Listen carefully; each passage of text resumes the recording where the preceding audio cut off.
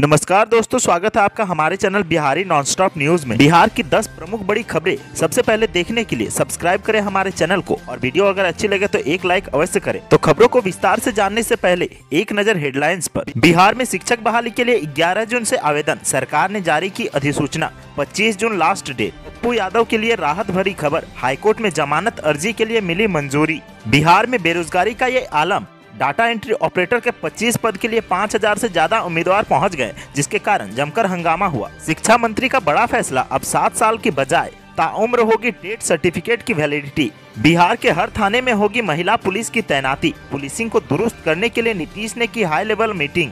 Black fungus के मरीजों के एडमिट होने का सिलसिला जारी। पटना में दो नए मरीजों की गई जान। बिहार में अचानक वैक्सीनेशन सेंटर पर पहुँचे डीएम। लचर व्यवस्था को देखकर हुई आग बबूला। कर्मियों को जमकर फटकारा। बिहार में आर्थिक रूप से कमज़ोर वर्ग वाले आरक्षण का दायरा बढ़ाया गया। नई जातियाँ शामिल होंगी, राज्य सरकार ने जारी किया आदेश। बिहार में अब ब्लैक फंगस से पीड़ित मरीजों को मिलेगी पाँच लाख तक की मुफ़्त दवा, हेल्थ मिनिस्टर का ऐलान। स्वास्थ्य व्यवस्था का हाल जानने हाजीपुर अस्पताल पहुँचे तेज प्रताप। सरकार पर साधा निशाना, पर हो गई यह चूक।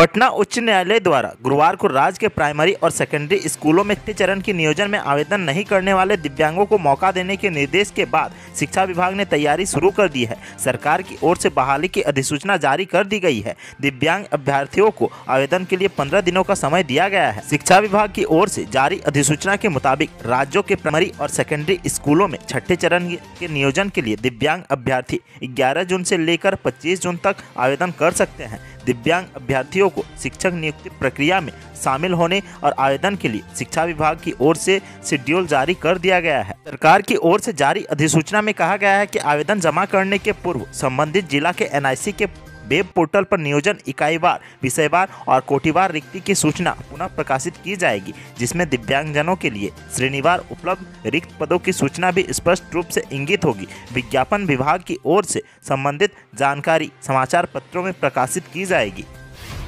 जन अधिकार पार्टी के अध्यक्ष और पूर्व सांसद पप्पू यादव से जुड़ी इस वक्त की बड़ी खबर सामने आ रही है। पप्पू यादव और उनकी पार्टी के नेताओं और कार्यकर्ताओं के लिए यह एक राहत भरी खबर है। पप्पू यादव, जिन्हें पिछले दिनों मधेपुरा सेशन कोर्ट ने 32 साल पुराने केस में जमानत देने से इनकार कर दिया था, अब वह जमानत के लिए पटना हाईकोर्ट में याचिका दायर कर सकते हैं। दरअसल पटना हाईकोर्ट में इन दिनों गर्मी की छुट्टी चल रही है और इस दौरान हाईकोर्ट में जमानत याचिका दायर करने पर रोक लगी हुई है, लेकिन पप्पू यादव की तरफ़ से जमानत याचिका करने के लिए हाईकोर्ट से आग्रह किया गया था। इसे अति महत्वपूर्ण मामला बताते हुए हाईकोर्ट से पप्पू यादव की पत्नी, पूर्व सांसद रंजित रंजन ने जो आग्रह किया है, उसे कोर्ट ने स्वीकार कर लिया है। अब पप्पू यादव की जमानत याचिका पर पटना हाईकोर्ट में सुनवाई हो पाएगी, लेकिन इसके लिए पहले उनके वकीलों की तरफ़ से कोर्ट में बेल की ई फाइलिंग की जाएगी। आपको बता दें कि पप्पू यादव बत्तीस साल पुराने अपहरण के एक मामले में इस वक्त जेल के अंदर है। दरभंगा के डीएमसीएच में बीमार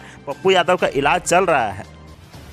20 लाख रोज़गार देने का वादा कर सत्ता में आई सरकार के राज में बेरोजगारी की सही तस्वीर नीतीश कुमार की गृह ज़िले में ही दिख गई। स्वास्थ्य विभाग ने ठेके पर 25 डाटा एंट्री ऑपरेटर की नियुक्ति के लिए इंटरव्यू रखा था, जिसके बाद पूरे बिहार से तकरीबन 5000 बेरोजगार हाथों में बायोडाटा लिए पहुँच गए, लेकिन फिर भी रोज़गार मिलने का चांस नहीं दिखा तो जमकर हंगामा भी हुआ। पुलिस को लाठीचार्ज कर उम्मीदवारों को भगाना पड़ा। दरअसल नालंदा में जिला स्वास्थ्य समिति ने ठेके आरोप पच्चीस डाटा एंट्री ऑपरेटर की बहाली शुरू की थी। नौकरी पक्की की नहीं थी और ना ही वेतन इतना ज़्यादा था कि लोग उसके ललचाए। शुक्रवार को नियुक्ति के लिए इंटरव्यू होना था, लेकिन 25 अस्थायी नौकरी के लिए पूरे बिहार से लगभग 5000 बेरोजगार बहाली स्थल पर पहुँच गए। बिहार शरीफ के बीआरसी भवन में पहुँची भारी भीड़। कोविड प्रोटोकॉल को तोड़कर नौकरी के लिए मारामारी करने पर उतारू हो गई। हंगामा ऐसे हुआ कि पुलिस को बुलाकर उम्मीदवारों को खदेड़वाना पड़ा।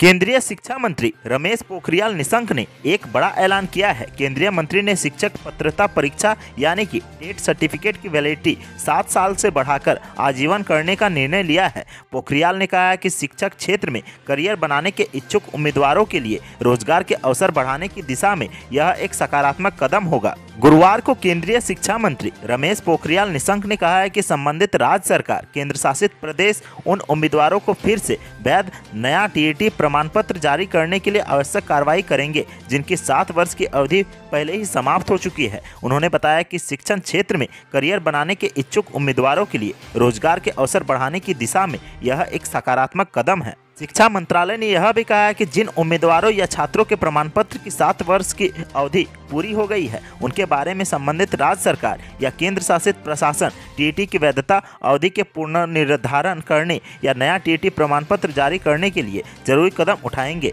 यह व्यवस्था 2011 से प्रभावी होगी।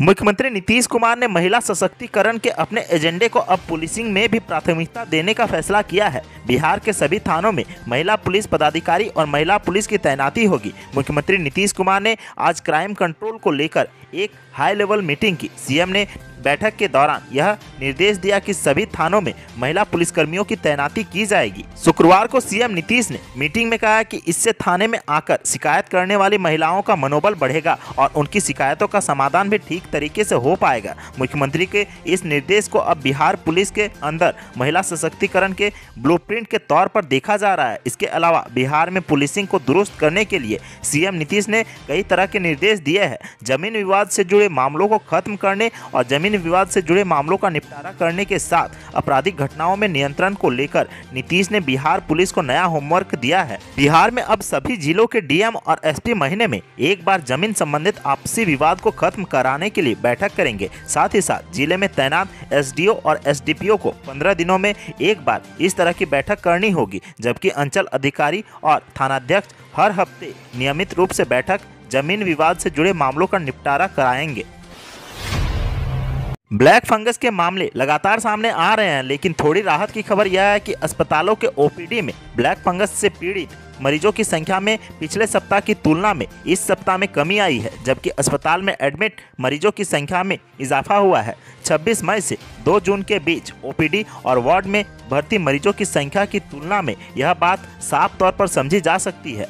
अगर आंकड़ों की बात करें तो 26 मई को पीएमसीएच में दो आईजीएमएस में अड़सठ एम्स में बावन, ब्लैक फंगस के मरीज़ भर्ती थे। उस समय भर्ती कुल मरीजों की संख्या 122 थी। वहीं एम्स ओपीडी में उस दिन बासठ आईजीएमएस में 30 और पीएमसीएच में छह मरीज़ पहुँचे थे। इस हफ़्ते मंगलवार को एम्स ओपीडी में 25 आईजीएमएस में 22 और पीएमसीएच में 12 संदिग्ध संक्रमित आए थे। उनमें से सात एम्स में, पाँच पीएमसीएच में और चार आईजीआईएमएस में भर्ती हुए। मंगलवार को इन तीनों अस्पतालों में भर्ती मरीजों की संख्या 231 थी। इनमें आईजीआईएमएस में 110 एम्स में संतानवे और पीएमसीएच में 24 थी। पटना में गुरुवार को 17 नए ब्लैक फंगस के मरीज़ अलग अलग अस्पतालों में भर्ती कराए गए। इनमें से सात आईजीआईएमएस में, सात एम्स में और तीन पीएमसीएच में भर्ती हुए। आईजीआईएमएस में दो मरीजों की मौत इलाज के दौरान हो गई।